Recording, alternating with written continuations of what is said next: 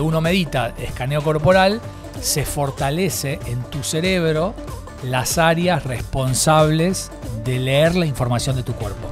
La forma más eh, rápida e intensa de acceder a tu sistema nervioso para relajarte es la respiración, como decías vos, y hay tres tipos de respiraciones muy conocidas que se las digo a la gente porque realmente te cambia mucho el día. Cada vez creo más en la intuición, este, porque antes solía, eh, muy a mi estilo, darme con un caño diciendo sos una prejuiciosa. ¿Y por qué no puede salir bien? ¿Y por qué no puede ser distinto? Están las respiraciones estimulantes, que en general es lo que no queremos y no necesitamos, que es lo que nos activa, nos acelera. ¿Qué estoy pensando? De por detectar que lo que Lo que yo me cuento a mí mismo sobre mí. Mi versión oficial. La respiración es una de las herramientas más importantes que está bueno poder aprender a manejarlas a nuestro favor. La pregunta es, ¿te inmovilizás en muchas situaciones de tu vida donde no hay peligro?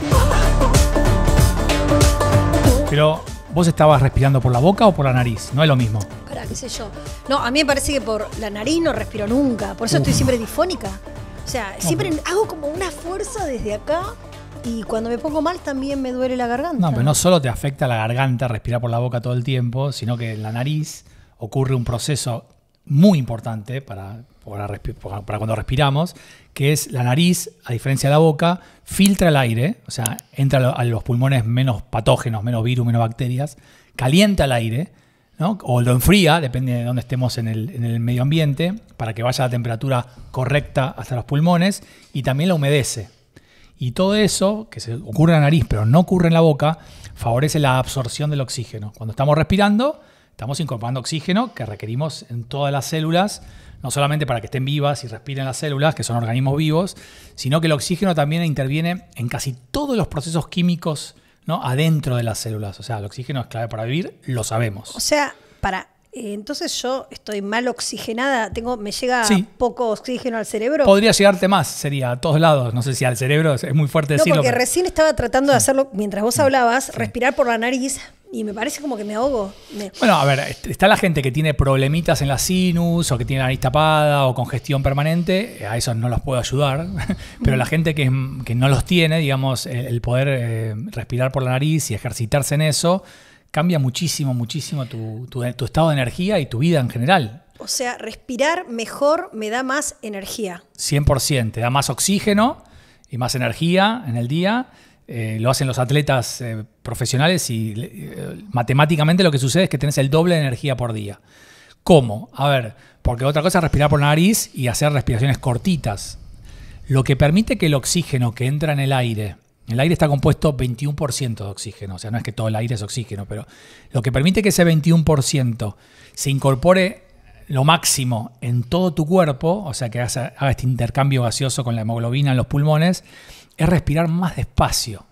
Respirar que la inspiración dure 4 o 5 segundos, no un segundo, dos como hacemos ahora, que estamos agitados porque estamos charlando, es muy difícil hacerlo, pero mientras vos me estás escuchando lo podrías hacer más tranquilo, que el aire entre 4 o 5 segundos y después expirás 4 A mí la única que me hace bien es mantener el aire 4 8 segundos eh, en el cuerpo. O sea, contener el aire. Respirar, contener, retenerlo y, y, soplar. Esa es la que mejor me hace. Bueno, a ver. Como que me frena la cabeza. Para la gente, hay como tres grandes tipos de respiraciones. ¿no? Está la respiración equilibrante, que la puedes hacer en cualquier momento del día, que equilibra los sistemas nerviosos, el famoso simpático parasimpático, el que activa y el que relaja. Ahora vemos cómo. Están las respiraciones estimulantes, que en general es lo que no queremos y no necesitamos, que es lo que nos activa, nos acelera cuando estás muy bajo, por ejemplo, lo puedes hacer. Y están las, las respiraciones relajantes, que es una de las que escribís vos, que es justamente activar todo el sistema parasimpático, el nervio vago que seguramente me vas a preguntar, y eso te relaja y te baja. Entonces, dentro de esos tres mundos de respiraciones, si querés te puedo contar, para que la gente aprenda y lleve a su casa, cómo respirar. Sí, totalmente. Porque en realidad estamos hablando de autoconocimiento basado en ciencia. Y la pregunta base es, ¿qué es el autoconocimiento? Además de detectar nuestros pensamientos, como hablábamos en otro episodio, mm. ahora también tenemos que pensar o poder dirigir qué es lo que ingresa a nuestro cuerpo qué es lo que ingresa y, y, cómo regularlo, administrarlo, ¿no? Sí, en ciencia hablamos de dos grandes autoconocimientos, el conceptual que es el que uno se cuenta a sí mismo quién es, soy pelado, soy argentino, soy varón, ¿no? y me voy hablando a mí mismo, a veces me, puedo decirme mentiras, pero es como a través de los conceptos me conozco. Y en este episodio por ahí estamos más metiéndonos en el autoconocimiento sensorial, somático, algunos le dicen, o del cuerpo. Bueno, ¿qué le pasa a mi cuerpo? ¿Qué información le está dando a mi cerebro?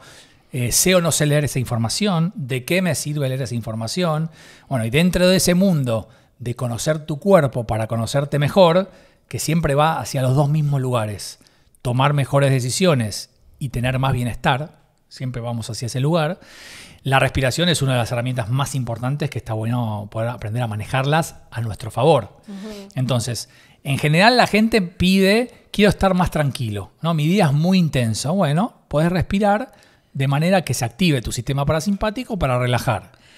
Ahora, vos estabas hablando entonces de las dos maneras de conocerse. Está el conceptual, que es lo que hablamos un poco de qué estoy pensando, de por detectar qué es lo que Lo que yo me cuento a mí mismo sobre mí. Sobre mí, mi, propia versión, mi versión oficial, ¿no?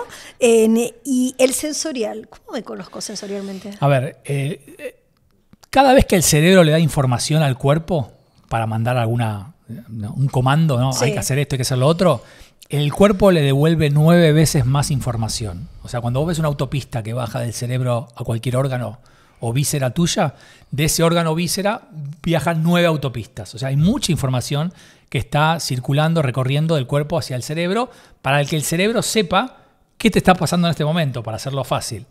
Entonces, esa información, la forma más fácil de leerla o la herramienta más potente, más estudiada científicamente para leer esa información del cuerpo, no sé si te va a gustar la frase, es la meditación.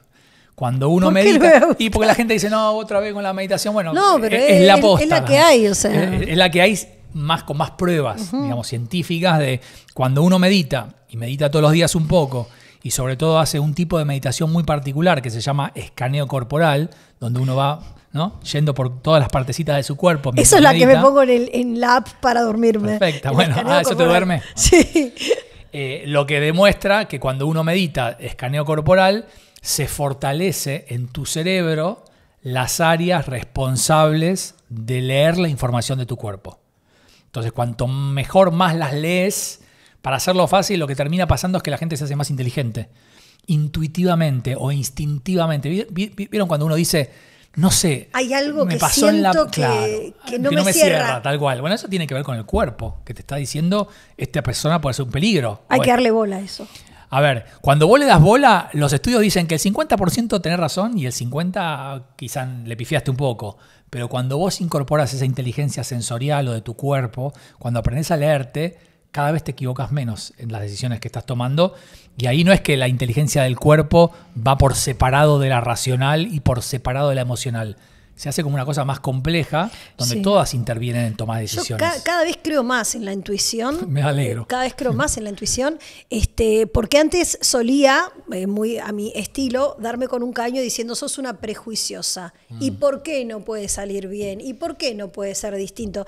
Y ahora no basándome en prejuicios, o sea, no, no dejo de relacionarme con nadie por un prejuicio, pero lo que pasa en, el, en, esa, en ese ida y vuelta le tomo, tomo mucha digamos, información de eso, ¿no? Bueno, a ver, cuando uno crece y se hace más grande, empieza a, en general empieza a confiar más. A todos los viejos nos pasa lo mismo. Sí, a confiar. No, pero, a ver, de nuevo, la, intuición eh, eh, no tiene un componente racional, está muy estudiada en ciencia, pero no se conoce mucho.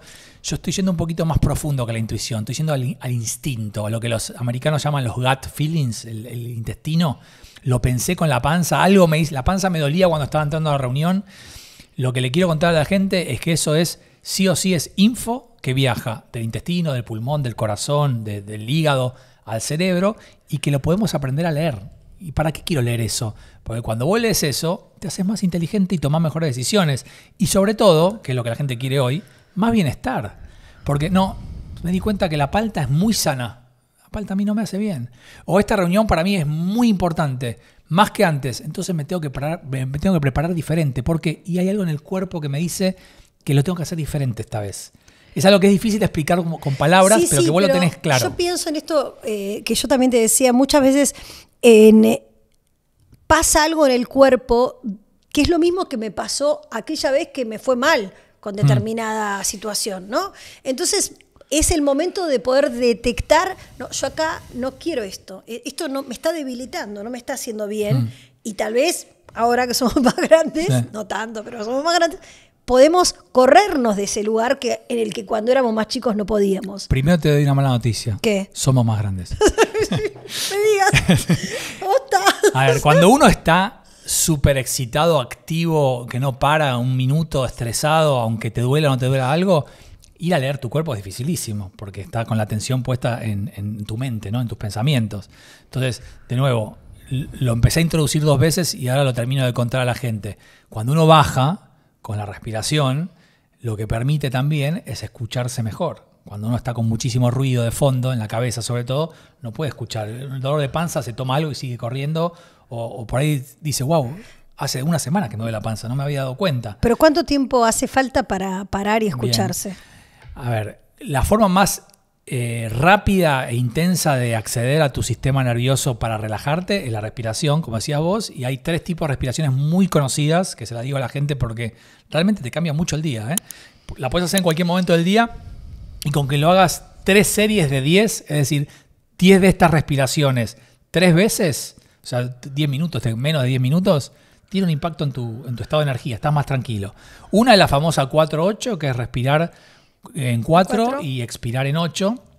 Lo más importante acá es todo por nariz y primero el aire lo llevas al diafragma o a los pulmones, la parte de abajo. El pulmón es un triángulo y la parte de abajo del pulmón es la parte más ancha del triángulo. Entonces cuando llevas el aire abajo es como que se puede inflar más el pulmón. No, no es que se infla la panza, no se infla el No, diafragma, infla es el acá, pulmón. a- acá, no, los sea- pulmones se inflan. Bueno, está bien, pero para sentirlo Claro, sería... ponés las manos en la panza, muy la bien. En, las costillas. O en la- primero es en la panza, después es en las costillas y después, si querés, es en las clavículas. Entonces el aire llega primero a la panza, después entra en la parte de arriba de los pulmones, que puedes tocarte acá el- el- las costillas Sí. del pecho, y si querés hacerla súper completa, es como que te, te, le- te elevas un poquito más. Pero el orden es clave. Cuatro segundos, primero a la panza, después a los pulmones y después a las clavículas.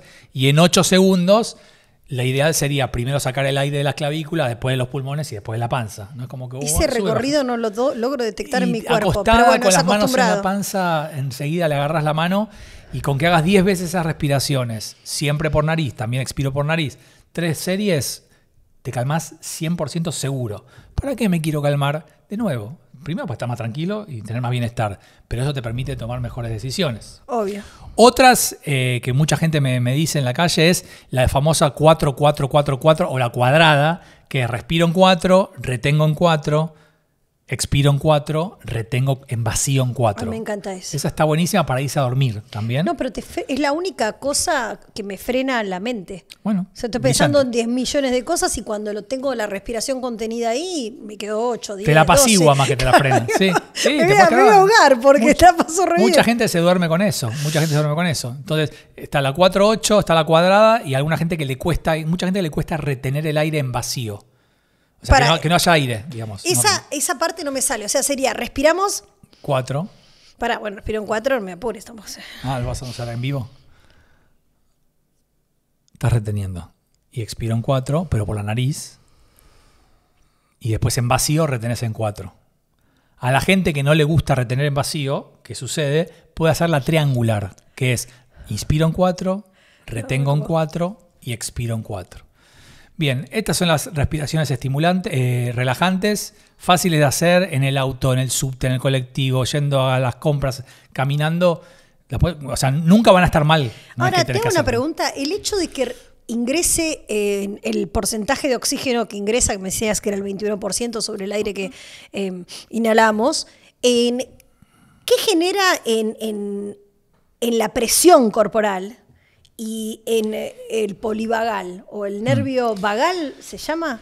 Sí, a ver. eh, ¿Y qué hacen Primero te corrijo un segundo para. Sí. 21% es la composición del oxígeno de- en el aire. Claro. Pero cuando uno respira, en general, y respiramos mal, porque respiramos rápido y muchos por la boca, tres cuartas partes del oxígeno que entra vuelve a salir. Es como que estar haciendo algo medio, viste, en vano. ¿Para qué me meto oxígeno si después lo vuelvo a a sacar? Para eso Entonces, pongámonos una máscara. no, Ya bueno, digo, para los que no van con máscara, el respirar lento genera que mm, casi todo el oxígeno que entra a los pulmones viaje al cuerpo y no vuelva a salir.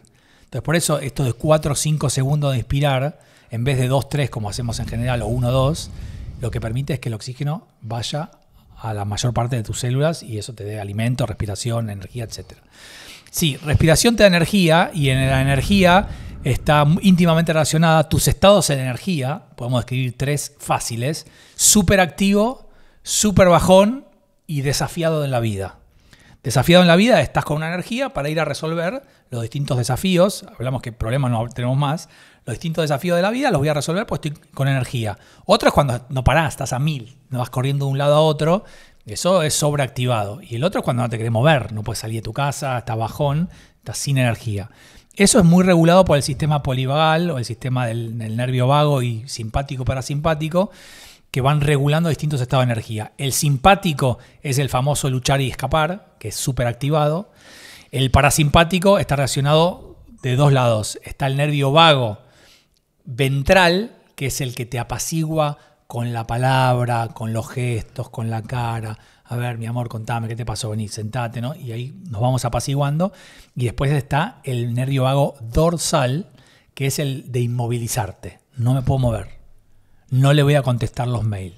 Evito las situaciones. No quiero saber, basta, no puedo más, no quiero más. Ahí estás en un sistema vago dorsal que es cuando viste que, las, las ¿cómo se llama? Los reptiles se hacen los muertos. No sé si alguna vez lo viste, es ese sistema. Para, como quedas quieto. Eh, a mí me pasa eso cuando me da mucho miedo algo. Ponle, me vienen a robar, me quedo así. Y bueno, el sistema parasimpático del dorsal eh, o del vago dorsal es ese, es inmovilizarte frente a una situación de peligro. La pregunta es, ¿te inmovilizás en muchas situaciones de tu vida donde no hay peligro? No, algunos sí.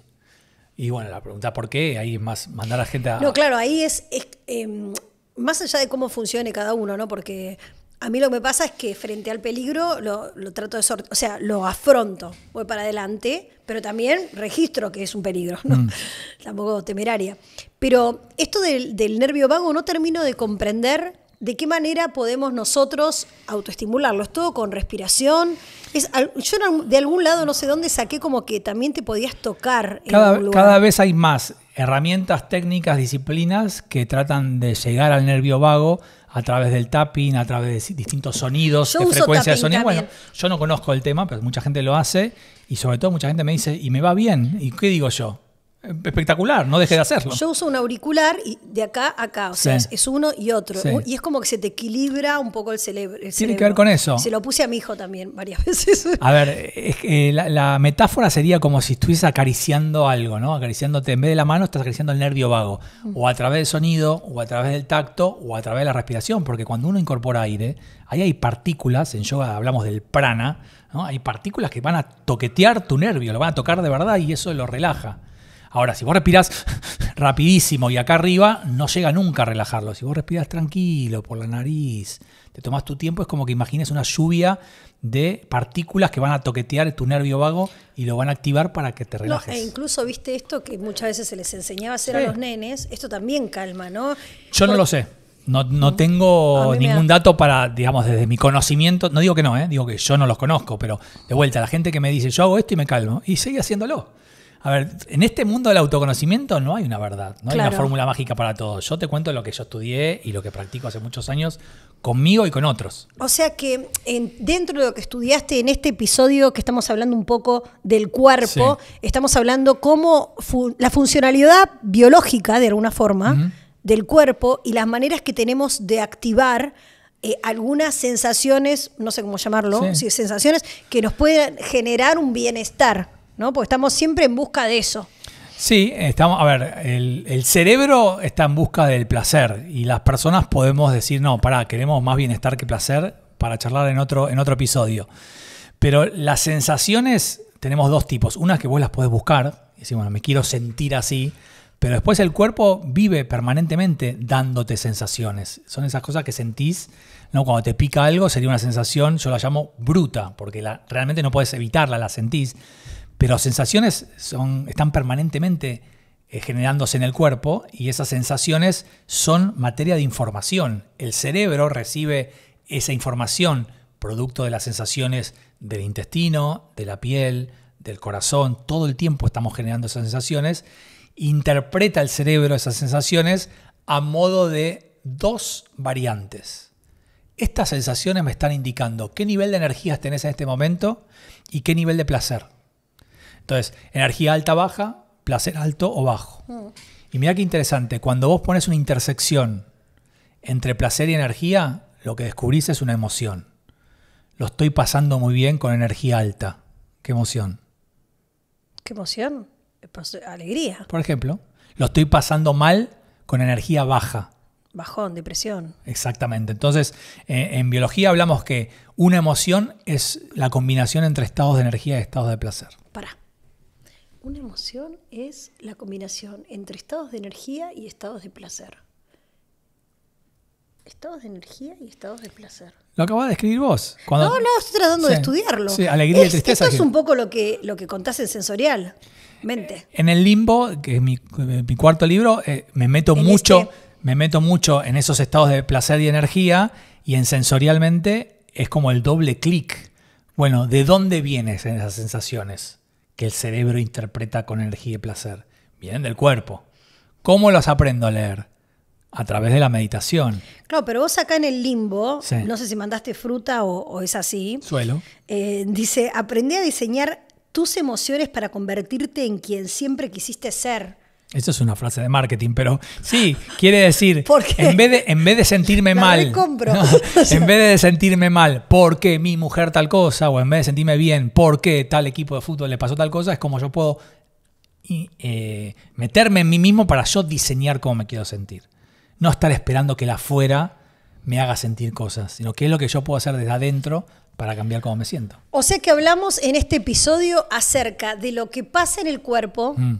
En relación con el aire, con la respiración y cómo eso afecta a nuestra mente. No mm. solo miramos, como hicimos en otro episodio, los pensamientos desde un lejano oeste, sino que nos metimos con las sensaciones del cuerpo y cómo validarlas y cómo registrarlas primero antes registrarlas, registrarlas primero, ¿no? Este, para poder seguir surqueando, eh, surcando ese, el caminito hacia el autoconocimiento sería, ¿no? Tal cual. No solamente uno se conoce por las cosas que se dice todo el día, sino también se conoce por las cosas que le pasan al cuerpo. Herramienta clave no es solamente el vehículo que te lleva de un lugar al otro, sino es el vehículo que te hace sentir cosas. ¿Y qué le dirías a esa gente capaz muy acelerada que dice, yo no siento nada, no me duele nada? hago esto y no me pasa nada. O sea, puede ser que un cuerpo funcione sin dar ninguna respuesta o lo que hay es una negación. O, no, a ver, puede haber una negación o un sistema de mecanismo de defensa más, de Freud, más del psicoanálisis, en el cual obviamente no me voy a meter. Y también puede ser un cuerpo que está entumecido por, por, ignorarlo, por no escucharlo, por no darle bola, por no prestar atención. La estadística dice que en algún momento el cuerpo va a hablar, cuando uno vive muy estresado, ¿no? Tampoco soy un fanático de esto que hay que hacerlo. Esto no hay que hacerlo. Esto no, vos podés hacer tu vida para adelante sin hacer nada de autoconocimiento. Para mí creo que vale mucho la pena, porque empezás a culpar menos al otro, a quejarte menos. Eh, las tormentas que atraviesan tu vida las vivís con otra calma. Eh, los, grandes dramas que tenés te das cuenta que no son dramas.